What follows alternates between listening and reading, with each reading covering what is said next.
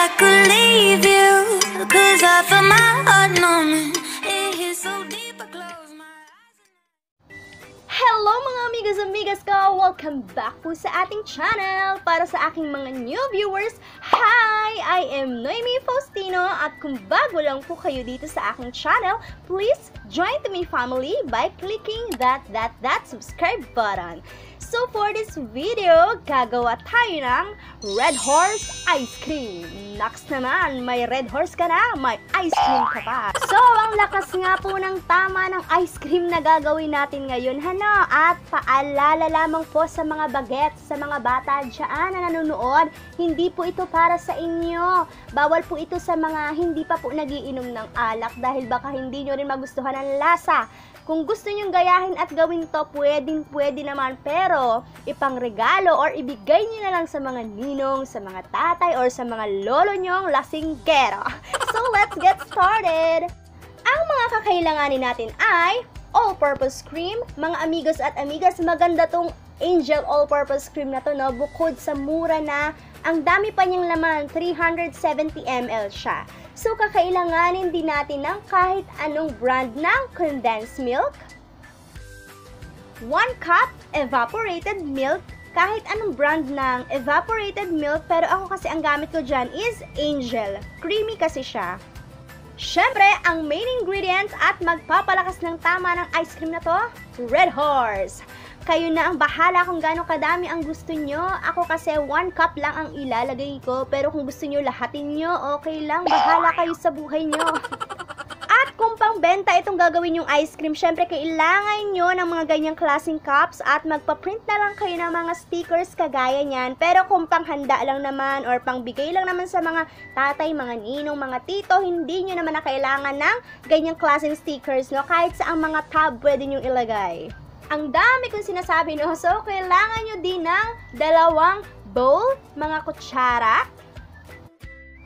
hand mixer, electric mixer, pero kung wala po talaga kayo, pwede naman po na wire whisk na lang, pero mas okay po kasi talaga kung meron kayong electric mixer, gaya po ng sabi ko kasi magdodoble po yung dami ng inyong cream. Mas okay po siya, lalo sa pangnegosyo, diba? Mas marami po tayong magagawa.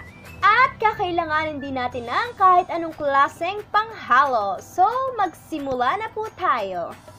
Sa isang bowl, pagsamahin lang natin ang evaporated milk at condensed milk.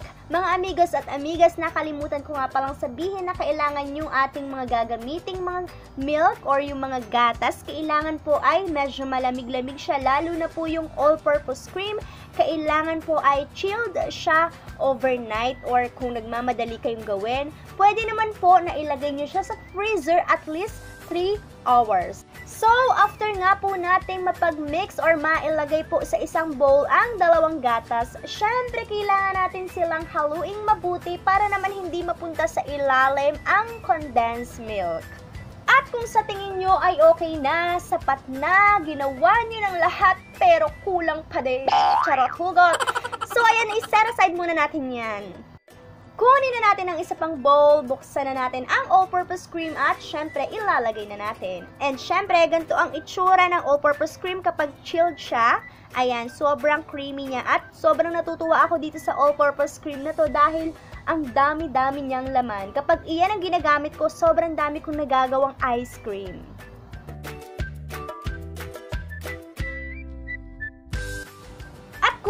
Natin ang electric mixer. So, imimix ko lang siya hanggang magdoble na yung kanyang dami at hanggang maging smooth na siya.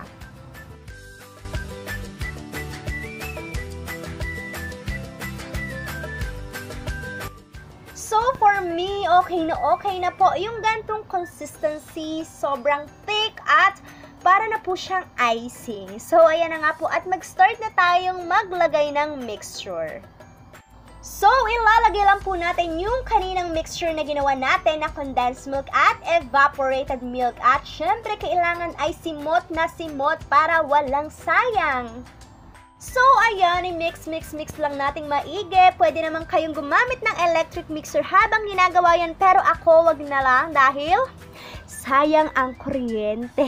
Charot. Kung pwede naman kasing imano-mano lang dito, edi imano-mano natin, di ba?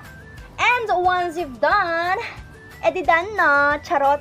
Siyempre, maglalagay na tayo ng 1 cup ng Red Horse. Gaya ng sabi ko sa inyo kanina, kahit gaano kadami ang nais ninyong ilagay. Kung gusto nyo na malakas talaga ang tama, edi ilahat nyo. At kung makikita nyo, ayan, bumubula-bula pa ang ating mixture, no? Ang tapang talaga nitong Red Horse na to, naninipa talaga. So, kailangan ay haluin ng mabuti.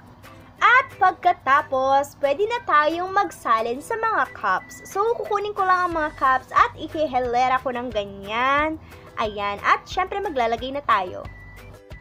Kumuha lang ako ng platito para hindi magsalaula, pero nagsalaula pa din tayo. Walang nangyari. So, ganyan nga po ang gagawin natin. Magsasalin-salin lang tayo. Ako kasi gusto ko na puno para mas okay, di ba? Para mas maraming laman. Pero kung pang negosyo, kayo ang bahala. Kung gusto nyo ay may sukat, go!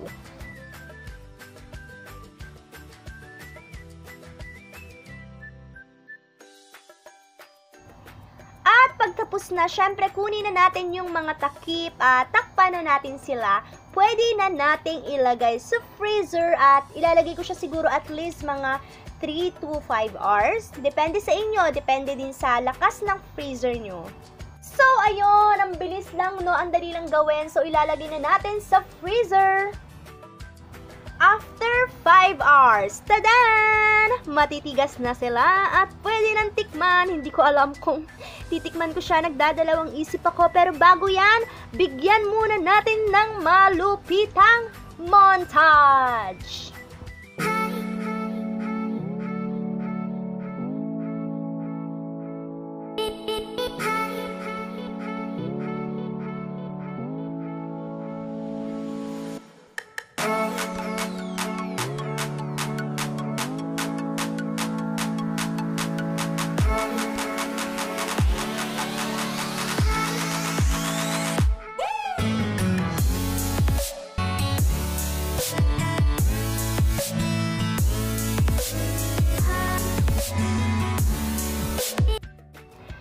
Ayan, titikman na nga natin at napag-isip-isip ko na tikman siya ng kahit konti lang, no? And dito ko na lang din sa voice over sasabihin at i-describe yung lasa niya kasi dun sa pinaka-actual video ay medyo maingay at malakas ang hangin. So, ayan, dito na lang po. So, titikman na nga natin kung ano ang lasa.